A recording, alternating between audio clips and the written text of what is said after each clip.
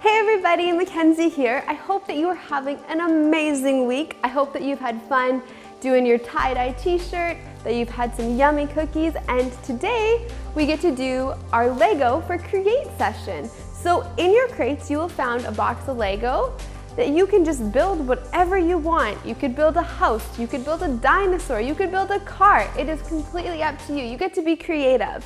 So do whatever you want to do with your Lego and then share your pictures on the Google Classroom. Have a great week and see you on Friday. Bye.